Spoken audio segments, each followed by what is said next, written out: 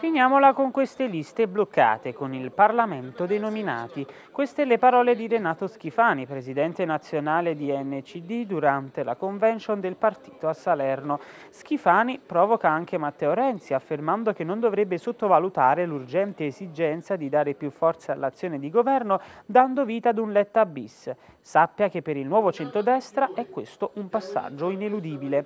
Se avesse, continua Schifani, veramente attenzione alle emergenze gravi che pesano enormemente sulle famiglie e sulle imprese, poiché non crediamo che egli oggettivamente voglia creare un distacco tra il Paese e la maggioranza che sostiene l'esecutivo, non dovrebbe sottovalutare l'urgente esigenza di dare più forza all'azione di governo, dando vita ad un Letta bis.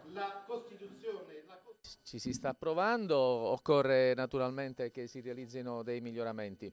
Quello che mi ha molto colpito e che mi ha turbato è quello che è successo in Commissione Affari Costituzionali, e cioè secondo me è stato inficiato il passaggio della legge elettorale in Parlamento.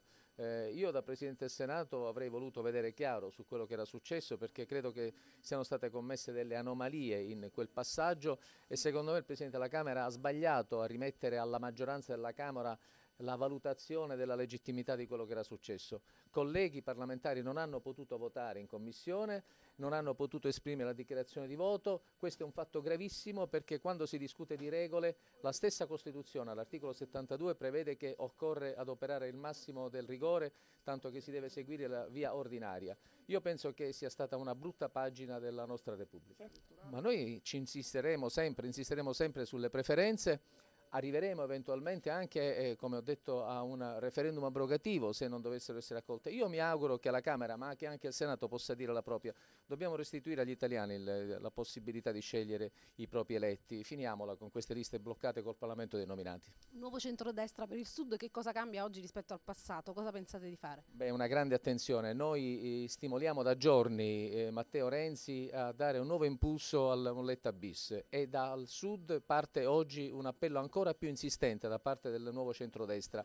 È finito il tempo dei temporeggiamenti, occorre rilanciare il governo perché il mezzogiorno non può aspettare, lo diciamo da qui, lo dice un uomo del Sud. Lo si è detto però anche nel passato con uh, le gestioni precedenti. No, noi siamo un nuovo partito, eh, un nuovo partito che ha posto al centro della propria attenzione le esigenze del territorio, con una nuova politica, la politica del fare e su questo attendiamo risposte da parte di Matteo Renzi.